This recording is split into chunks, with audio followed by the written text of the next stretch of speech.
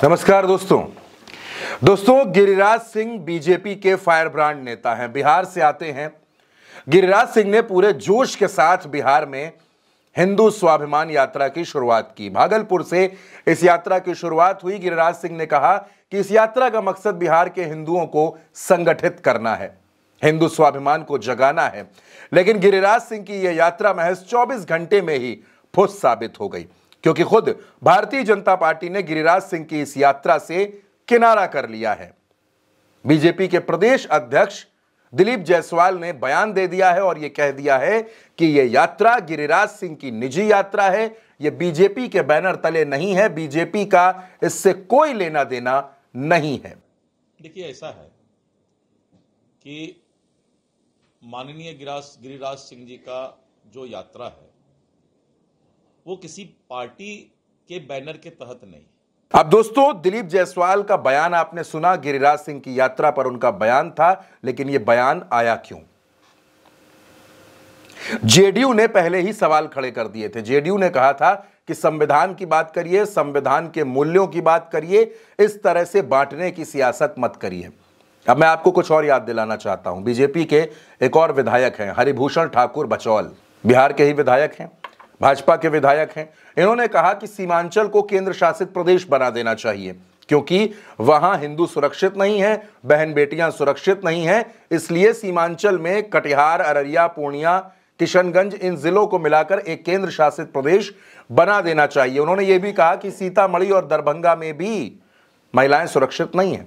अब बीजेपी के विधायक का बयान और बीजेपी के नेता, बड़े नेता गिरिराज सिंह की जो यात्रा है, इन दोनों स्टेप्स को बीजेपी ने यह माना कि ये नीतीश कुमार को नाराज़ करने वाली हो सकती हैं। और अगर नीतीश कुमार नाराज़ हो गए, बिदक गए, गठबंधन तोड़कर अलग हो गए, तेजस्वी के साथ चले गए, तब बिहार के विधानसभा चुनाव में बीजेपी का क्या होगा? क्या बीजेपी एक बार फिर विपक्ष में बैठने को मजबूर हो जाएगी? इसी वजह से बीजेपी ने गिरिराज सिंह की यात्रा से पल्ला झाड़ लिया।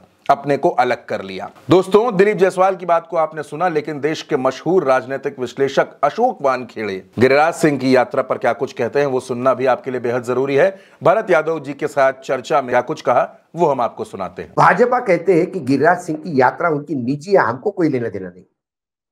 तो गिरिराज कैबिनेट में मंत्री है। वो संविधान के खिलाफ काम करते हैं, एक मंत्री की शपथ लेते हैं, संविधान की शपथ लेके सांसद बने हैं। वो एक जिम्मेदार पब्लिक लाइफ में जी रहे हैं। ये भाजपा ने नया रूल निकाला है। वो अपने लोगों से बातें करवाते हैं और समय आने पर डिसोन करते हैं। मतलब मैं मना करते जाऊँगा और तू करते जाना। मैं मना करते जाऊँगा और तू करते जाना, तू अपना काम पूरा कर लेना। क्या मोहन भागवत जी ने दशहरे के रैली में जो भाषण दिया, वो उग्र हिंदुत्व वाला नहीं था? क्या लगातार जो उत्तर प्रदेश में हो रहा है या बंगाल में हो रहा है, क्या ये उग्र हिंदुत्व नहीं है?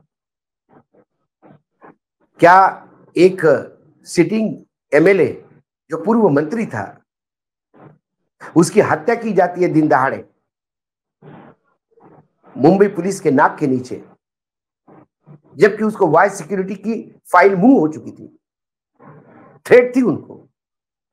उसके बाद भी जय श्री राम का नारा लगाते हैं हत्यारे वाले, कहते कि जय श्री राम के नाम पे मारा हमने। और सोशल मीडिया में तमाम अंध भक्त मारने वालों को हीरो बनाते हैं।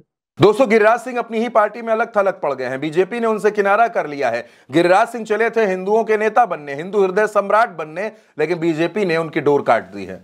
बीजेपी ने कह दिया कि आपकी यात्रा से हमारा कोई लेना देना नहीं। इस ये ये बीजेपी के बैनर तले यात्रा नहीं है। दरअसल बीजेपी नीतीश कुमार की नाराज़गी से घबरा गई है। नीतीश कुमार गिरिराज सिंह की यात्रा पर खासे नाराज़ बताए जा रहे थे। इसी वजह से बीजेपी ने गिरिराज सिंह से पल्ला झाड़ने में ही अपना और अपनी पार्टी का फ़ायदा समझा है बीजेपी नेताओं को समझ आने लगा है कि अगर गिरिराज सिंह के साथ बीजेपी के नेता शामिल हो गए तो नीतीश कुमार एक मिनट नहीं लगाएँगे और बिहार में गठबंधन टूट जाएगा। सरकार गिर जाएगी और सिर्फ़ बिहार में सरकार नहीं गिरेगी दोस्तों। दिल्ली में नरेंद्र मोदी की सत्ता भी हिलने लगेगी। यानी घबरा कर भारतीय जनता पार्टी ने अपने हथियार डाल दिए हैं। वो बीजेपी जो हिंदू हिंदू की बात करती है, लेकिन बिहार में सेकुलर दिखने की कोशिश कर रही है, क्योंकि गठबंधन नीतीश कुमार के साथ है। दोस्तों, इस खबर में फ़िलहाल इतना ही। आपकी जो भी राय हो, अपनी राय हमें कमेंट बॉक्स में ज़रूर बताइएगा।